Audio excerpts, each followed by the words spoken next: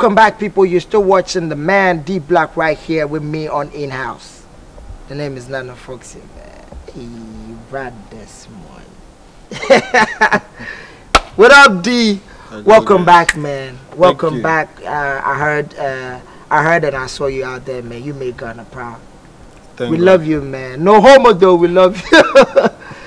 D, tell me about the family. Where do you come from and everything? You know.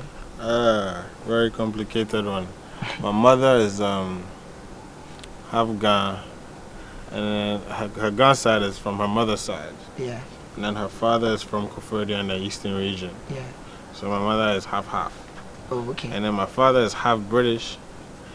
That's his dad. His dad is British, and his mom is from Edukrom in the eastern region. Okay. So I have a lot of different juices flowing through my blood. Yeah, man. Yeah, Ghana boy. Yeah. Ghana boy. as well. ID Black. Tell me about growing up. Where did you grow up? I grew up in North Kaneshie. Yeah. in the Woodman Estates. I grew up with my mother, my sister, and my grandmother. My parents split when I was about 10.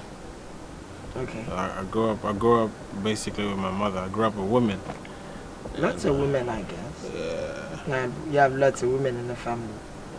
Not really. I have I have I have more brothers. I have I have six brothers and three sisters. So, s tell me something. What language do you speak at home, like when you're with the family?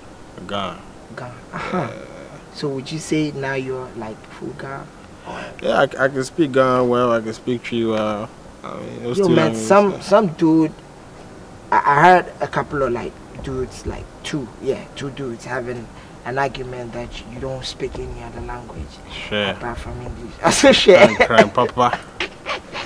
Yeah, man. Ghana. Eh. Wow, Yeah. it's nice to know, man. It's nice to know. D, the music and the family. Now you're into music, Yeah. and now there's the family. How how how are they taking it? Are they cool with what you do? Yeah. I This is mean- Africa, you know.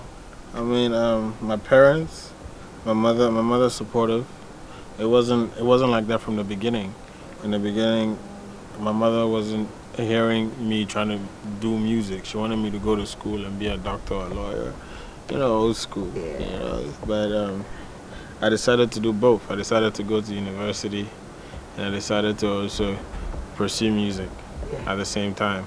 I graduated from university, and, and I, I still delved into the music industry, and, and, and, it- and it paid off. So You you did the you did the um is it the it senior secondary school, not the junior, not the senior high. You're not with the high. You're with the senior. the senior yeah. secondary school. You Yeah, did that. yeah, I did senior secondary Went school. to school. Pope John. You be Pope John boy. Yeah, I beg. Are you serious? yeah. Man, you're not kidding me, are you? I went to Pope John Secondary School, Town, and then from there, I went to University of Cape Coast. Okay, After that, I went to University of Ghana, Legon. okay.